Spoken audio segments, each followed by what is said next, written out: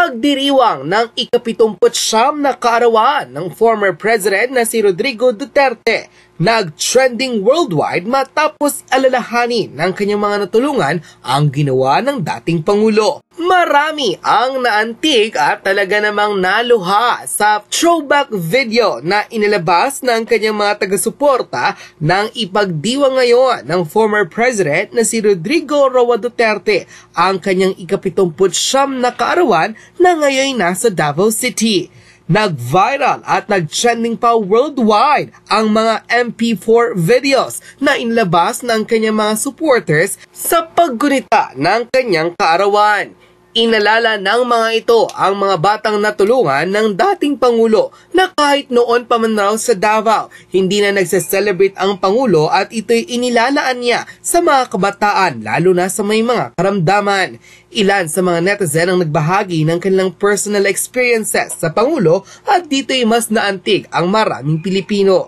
Samot-saring birthday greetings naman ang ibinigay ng maraming netizens online sa former president maging ang ilang mga sikat na personality ay nagbahagi rin ng kanilang mga birthday greetings. Narito ang exclusive report kung saan bago pa matapos ang gabi, Nagpaabot ng kanilang pagbati sa kaarawan ni Pangulong Rodrigo Duterte ang milyong-milyong Pilipino worldwide at ito'y pinag-usapan pa sa iba't ibang panig ng mundo.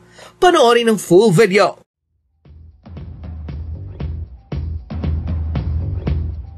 Maraming netizens ang halos tumulo ang luha nang makita ang mga exclusive videos and photos na ibinahagi ni Congressman Pulong Duterte sa pagdiriwang ng kaarawan ng dating Pangulong si Rodrigo Duterte ng kanyang 79th birthday. Walang magarbong handaan, wala ring lechon, ngunit sapat na ang kanyang pamilya na makasama ng dating Pangulo sa pagdiriwang ng special day sa kanyang buhay naantig ang puso ng maraming netizens sa simple at payak na selebrasyon ng dating Pangulo sa kanyang 79th birthday. Maging ang kilalang social media fictional character na si Senyora ay nagpaabot din ng kanyang mensahe sa kaarawan ni dating Pangulong Rodrigo Duterte. Ayon sa kanya, nakakamiss raw ang pagiging Pangulo ng isang digo. Ilan pa sa mga netizen ang nagpaabot ng ilang birthday greeting. Ayon kay Nene S. Origenes, praying for your continuous good health, protection, happiness, and peace of mind.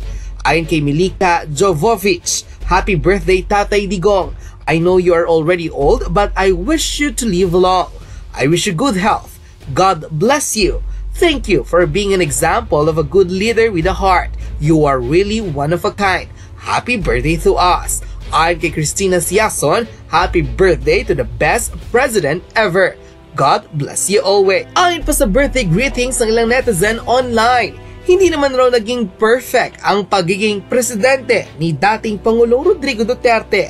Ngunit maituturing daw itong one of a kind, lalo't nasa may hirap talaga ang puso ng dating Pangulo. Hindi na raw nakapagtataka kung bakit hanggang ngayon ay pinag-uusapan pa rin siya ng netizens online, lalo na ang kanyang pamilya na kilala bilang matagal nang naglilingkod hindi lang sa Davao City kundi rin sa buong bansa. Marami pa sa mga netizen ang nagpapaabot ng kanilang birthday greetings ngayong araw kung saan isineselebrate ng dating Pangulo ang kanyang 79th birthday. Maraming netizen ang nakapansin sa simpleng selebrasyon ng dating Pangulo na walang ibang kasama sa kanyang kaarawan kundi ang kanyang pamilya.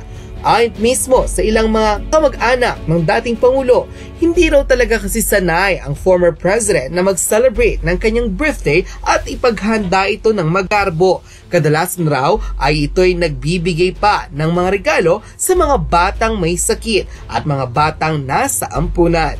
Kaya't hindi raw nakapagtataka kung hindi nag-imbita ang dating Pangulo sa kanyang karawan lalo't mas pinili nitong makasama ang kanyang sariling pamilya.